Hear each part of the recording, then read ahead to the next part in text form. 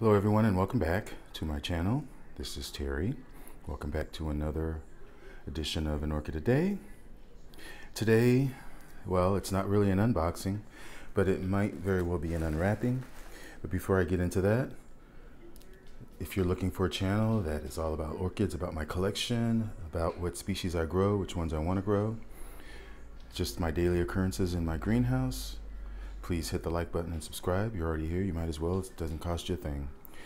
So today I got this shipment in that I'm very excited about. This is a plant that I used to own. Uh, I've only been without this plant maybe about a year, maybe going on two years, but I had one of these for several years and I got another one from the same company. This is an eBay dealer. It's, it's Botanica Limited out of Minnesota.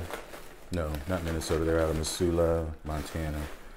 And what I was going to show you was I was really worried about the, this plant because um, besides the fact that it's coming from Montana, I know it's a lot of snow, you know, in the Rockies in, around that area of the country. Plus here it is still in the 30s as a high and it gets low in the 20s at night. So I was really worried about them shipping this plant, but they shipped it without any questions.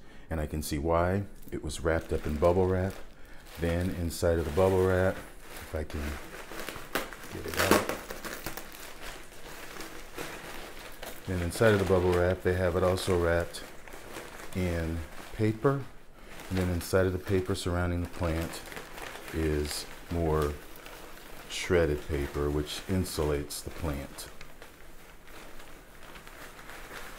So this is a mounted plant and this is how it was sent to me. And yeah, I guess I do have it on back. Try to get this out delicately. You know what? I'm not going to try to be delicate. I'm just going to slide it the best way that I can. Actually, maybe it's this way. Instead was just some crepe paper and it's surrounded in moss, which I'm going to take it out. It's even further insulated with some moss, which I may, yeah, I'm going to keep the moss. But anyhow, there's the plant. Name of the plant is Aerangis distincta. These plants are, of course, they are angraecoids. They are in that family of Angraecum, Aeranthes, Jumellea, uh, those plants from Madagascar. Uh, Distincta is, is from Malawi um, in Africa. It's along, it, it, grows in trees as an epiphytic uh, monopodial species, grows along uh, trees that are in um, well, it grows in trees that are along rivers and are up in evergreen forests at sea level up to uh, about moderate altitude. So they do like hot, steamy conditions. They can take some intermediate conditions, and probably intermediate would be best. Uh, but they do like, they can stand some warmth. They like to be watered pretty much uh, year round, especially if they are mounted and they do need to have a high humidity, especially in the summer. In the, during the growing season, they need at least 80, 85% humidity. In the wintertime, it drops significantly into the 60s, but the summertime, along with uh, the increase in water, uh, which does go, which, which is dependent upon the temperature. Uh, the warmer that it gets, the more water that they like, and the roots should never uh, be allowed to become desiccated or dried out.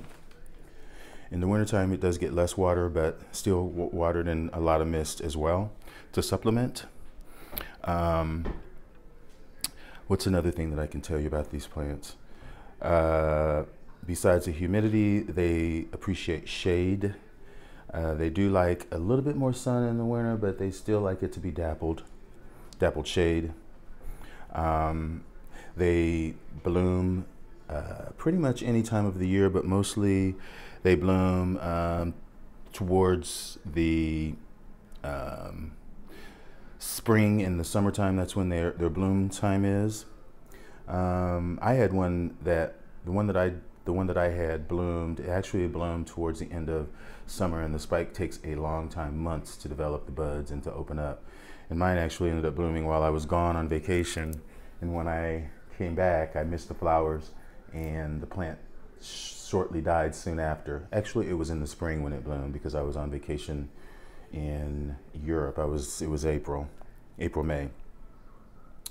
But the the flowers are very attractive. They are the spike is pendant and they hang down in the typical fashion of Aerangis with the flowers going down the spike. Flowers are often, um, they're white, star-shaped, typical flower. Uh, they're very night fragrant. Um, yeah, this species is known to have, uh, you know, of course, the leaves are, I'm not sure what you would call that, bilobed maybe. And there's also little black spots on the leaves, which are common to the species. I don't really see any because it's not really that. They're a little bit finer than that, a little smaller. But yeah, that's my new orchid. I'm very glad to have it in my collection. As I said, I got it from Botanica Limited. And I had been trying, I'd been looking for one for a long time and finally got one. And I am so happy to have it. I hope you've enjoyed my video and I'll try to post some pictures of the, the blooms. But this is one that you should get if you're uh, any kind of a angraecoid angraecum lover. Um, they prefer to be mounted, but you can grow them in a pot if you can't maintain the humidity. But you might need to increase the watering to make sure that the humidity stays pretty uh, static around the plant. Um, and they do need that extra moisture uh, well, what I was going to say was if you plant it up in a pot, you need to make sure that whatever it's whatever it's potted in is very loose around the roots because the roots do not want to be sitting on anything damp. They don't want to be crowded in the pot. They want to almost dangle free or be loosely attached to whatever it is they're attaching to. So you need to make sure that you pack it lightly in the pot and also make sure that you provide the humidity that's necessary. And that's pretty much all it will take. And you will be rewarded with some lovely blooms. And again, thanks for watching everyone. And I'll see you again soon. Enjoy your orchids. Bye.